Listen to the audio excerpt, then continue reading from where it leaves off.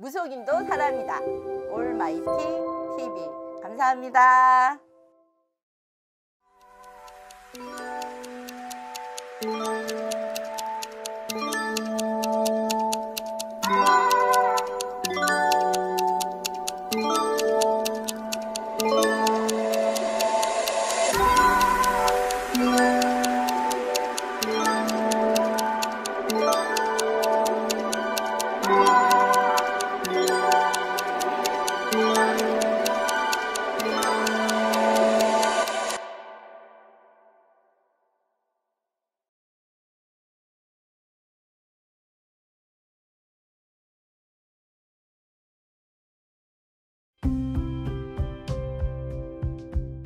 직업은 두 가지를 딱 했거든요. 어린이집을 13년을 했고요. 원생은 좀 많았고요.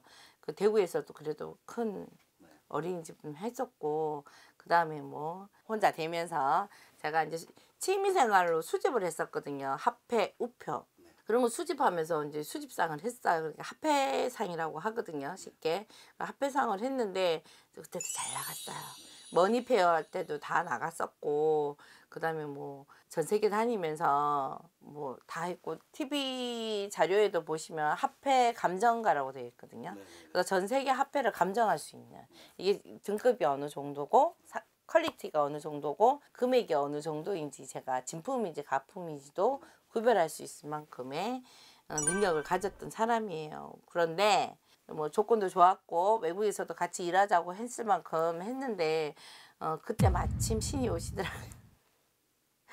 신이 저는 뭐 사실 교회 다녔거든요. 할머니 외할머니가 다 무당이시다 보니까 무당 안 시키고 싶어가지고 우리 엄마의 개인적인 그래서 교회를 다녔는데 그냥 그 쪽들이 이렇게 이렇게 머리 이렇게 비녀 꽂은 할머니 세 명이 오시고요. 아이라인 진하게 하신 장모님이 벼락이라 하면서 오시고 도사 할아버지 그 다음에 우리 사토 할아버지처럼 그런 할아버지들이 막 오시더라고요. 그러면서 저도 신을 받았는데 그, 그때까지만 해도 잘 나갔어요. 뭐 전 세계 다니면서 특히 뭐 중국 같은 경우에는 여권에 보시면 1년에 한 12번도 나가고 뭐 1년에 한 달에 뭐 물건 갖다 주고 또 가고 뭐 이런 식으로 또 낙가마 아니 낙가마처럼 그런 것도 하고 무역업이지. 왜냐? 제가 돈 많이 벌었어요. 그 네이버 검색어 저 10위까지 했었거든요. 저희 업체가 네, 회사가 고- 그렇게 할 만큼 어, 바빴었고 그래서 이제 저희 집에 오시는 분 중에 남녀 화합만 오시는 게 아니고 사업하시는 분들, 영업하시는 분들, 그다음에 장사하시는 분들 그런 분들도 많이 오세요. 저희 사신대감님이나 도깨비 동자님이 금전운이나 이런 거 확실하게 맞춰주고 그다음에 이제 금액도 많이 잘 쪽집게처럼 맞춰요. 그래서 저 어떤 분이 저보고 쪽집게 도사님이라 하거든요. 어떤 할머니는 그 할머니는 아파트 경매 건물 거- 경매하면 경매 금액 있잖아요.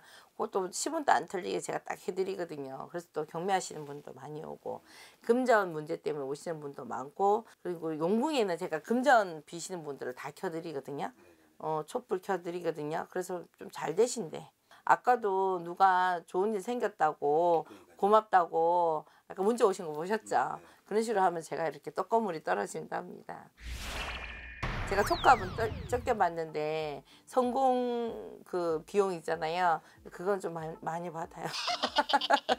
또 잘 된다고 하니까 좋고 항상 짜장면에도 탕수육 내기 합니다. 어, 그래서 뭐든지 소원하시는 거 이뤄주시면 저한테 짜장면 사주시면 돼요. 또 궁금하신 거 있으면 또 언제라도 연락 주세요. 감사합니다.